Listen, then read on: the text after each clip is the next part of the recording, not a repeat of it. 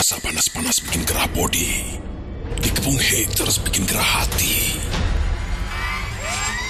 Lawan double gerah dengan Ichi Ocha Teh Melati. Teh dengan dua melati segerin gerah body dan hati lo.